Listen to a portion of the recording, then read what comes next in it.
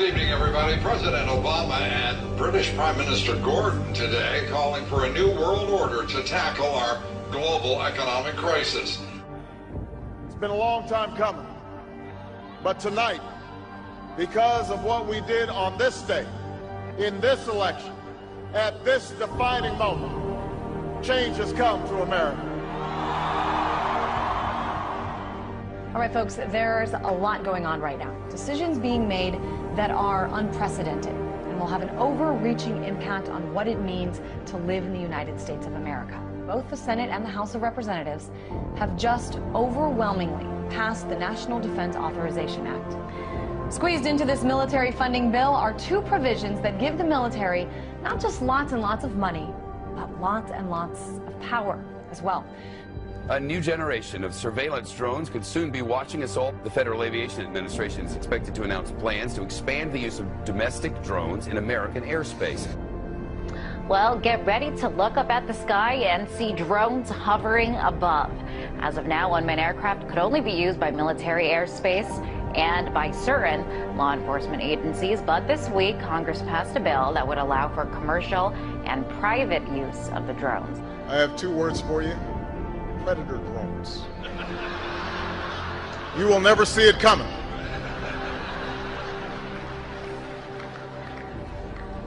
You think I'm joking? We're shopping and dining over Thanksgiving and maybe watching some football games, big government Republicans and Democrats were busy shredding the last vestiges of the Constitution. Senators John McCain and Carl Levin want to declare, want to enact a law that would declare the entire United States of America a battlefield for the military. They're talking about inserting the Army into domestic law enforcement. Senator Lindsey Graham, who supports this bill, says, quote, the homeland is part of the battlefield, and people can be held without trial, whether an American citizen or not. The Department of Homeland Security buying ammunition, now looking to purchase another 21 million rounds of ammunition. This in addition, of course, to the 1.6 billion rounds that Homeland Security has bought in just the past 10 months.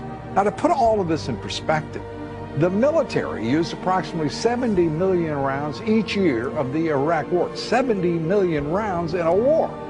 If you look at what the Department of Homeland Security has been purchasing over the last year, uh, it comes out to like 1.6 billion rounds of ammunition, more than 7,000 fully automatic assault weapons, 2,700 MRAP type vehicles, and now drones. Those are instruments of war. Department of Homeland Security's, who are they going to fight a war against? Something happened. Something happened.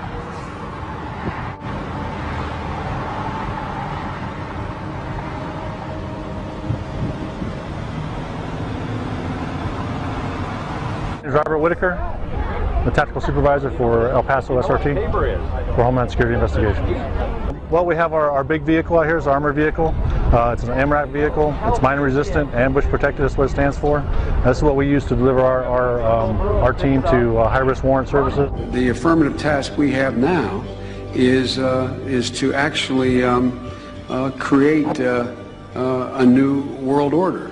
Important breaking news out of Boston, a pair of bombings rocked the finish line at the historic Boston Marathon. It was never meant that we would have this gigantic uh, police force from the from the federal government. I mean, we had martial law up there, FBI, and all these agents coming in, closing things down, going to people's houses. Do we close down cities because there's 10 murders over the weekend in Chicago? We we don't do that. Hmm. Uh, but here we closed down a whole city, not even allowed to go to a baseball game. I mean, I, I think I think it's very very scary when I look at some of those pictures. The military likes to perform war games, so that's why we're seeing military on the streets practicing. Uh, they are actually practicing. Um, the, the tanks that we see on the streets and the uh, National Guard patrolling neighborhoods and, and uh, the practices that they're doing with our local police department, this is all in preparation for martial law so that when they do actually lock down the country, they've got everything secured. But I think what we're starting to see, for anybody who is objective at all, is we're seeing a totalitarian system now unveil itself. And ever since essentially 9 11 happened, it's been more and more of these draconian measures that are leading us right down the road to martial law. Particularly to hear President Obama claim the power to keep people in prison indefinitely with no charges against them, no conviction, no sentence, just imprisonment. It's particularly stunning to hear him make that claim in the middle of a speech that was all about the rule of law. This last week, the U.S. Congress passed a bill uh, which repeals posse comitatus, which means that they we have now uh, institutionalized and codified uh, martial law. Right now, the, the battle against uh, terrorism involves all of us. Everybody in this country is a potential terrorist. We don't even understand freedom anymore. We are a country that is headed towards socialism, totalitarianism, beyond your wildest imagination. I have to tell you, I'm doing a story tonight that I wanted to debunk these FEMA camps. I'm tired of hearing. You know about them? Sure. I'm tired of hearing. I wanted to debunk them. Well, we've now for several days done research on them. I can't debunk them. I don't know anything about him. It is, it is our government. If you trust our government, it's fine.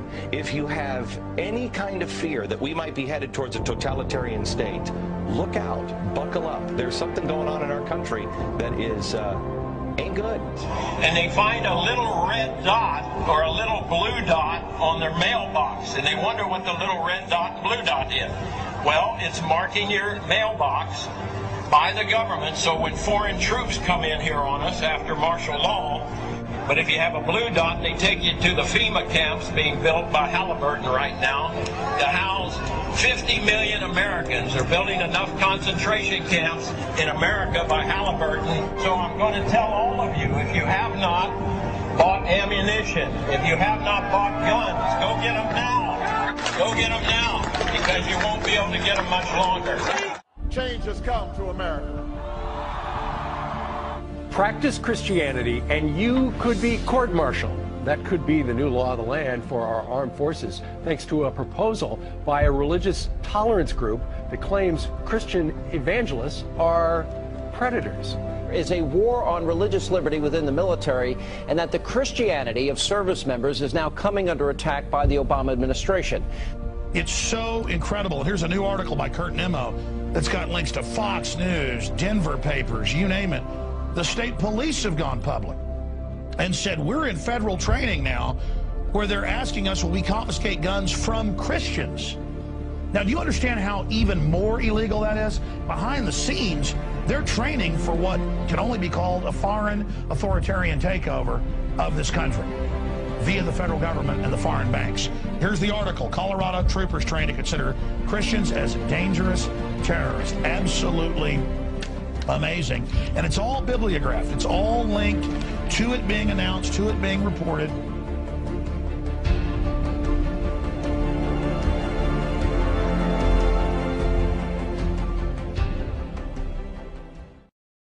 The company has now implanted two workers with microchips to monitor their movements, causing some to charge invasion of privacy. The company says it's merely a layer of security beyond key cards and clearance codes. I don't get one of those soon. Well, joining me now is Lance Ulanoff, editor-in-chief of PC Magazine. Lance, this sounds like some freaky science fiction book. Tell us what this is about. These two workers have microchips? Right, right. Well, this is very, very real, and these microchips are about the size of a grain of rice. They get injected into your skin characteristic film. Humans injected with a tiny chip holding the key to all of their private information. But as you're about to see in our CBS 46 investigation, it's not fiction.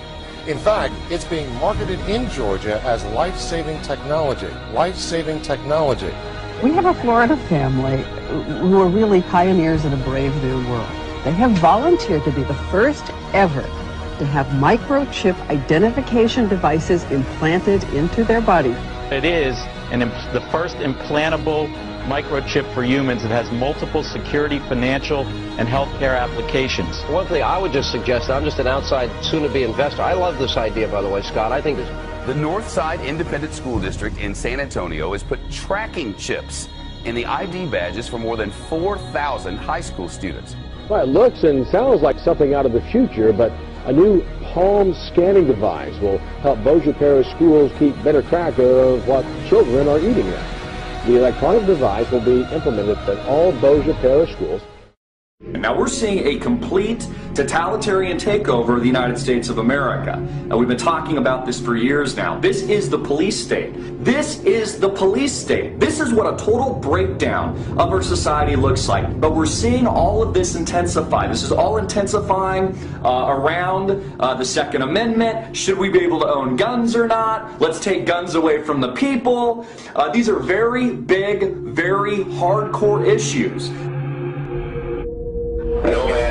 What is, you must leave.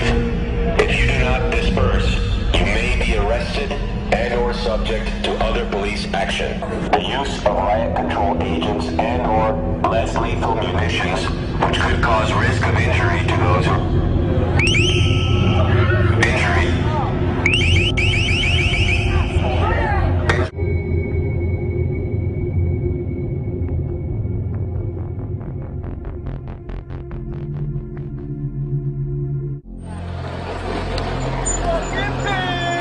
Wall police now moving in.